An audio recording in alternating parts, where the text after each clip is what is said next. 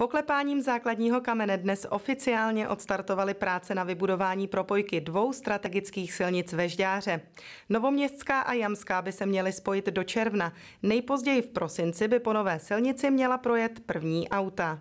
Ulehčení křižovatce u Rybníčku a snížení transitní dopravy od Brna, Nového města, ale i hlavy. Hlavní důvod, proč se začalo s budováním propojky silnic Jamská, Novoměstská ve Žďáře.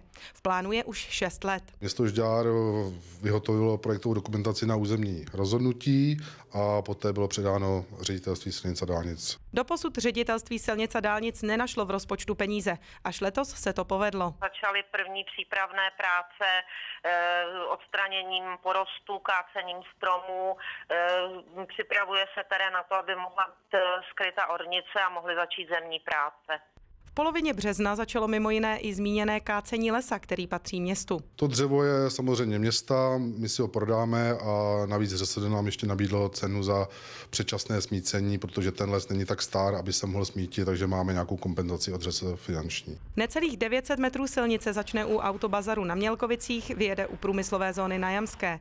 Náklady na výstavbu, která by měla být hotová do června, čítají na 60 milionů korun. Nová silnice bude pokračovat úsekem, po kterém už auta jezdí jezdí z průmyslové zóny ke kruhovému objezdu směrem na Brno. A právě ten musí město upravit, aby se zvýšila jeho únosnost a mohl se z místní komunikace převést na silnici první třídy. Proběhne frézování, určitý opravy trhlin a ta komunikace bude únosná i pro nákladní dopravu. Dojde k částečné uzavírce, to ještě není přesně jako specifikováno. Buď bude úplná uzavírka, tam možnost jako objízdních tras je, anebo bude částečná. Posudek navrhuje zesílení o 110 mm nových asfaltových vrstev, aby došlo k sjednocení povrchu s nově budovaným úsekem mezi ulicí Jamskou a Mělkovicemi, bude odfrézovaná stávající obrusná vrstva, opraveny trhliny a provedeny tři nové asfaltové vrstvy. Úsek řešený městem měří přes 600 metrů. Náklady výjdou asi na 10 milionů korun.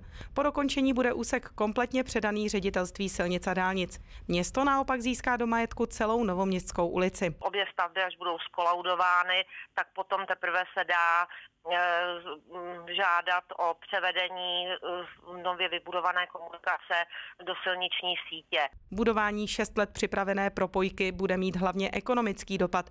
Převede se na něj část dopravy a ušetří čas cestování.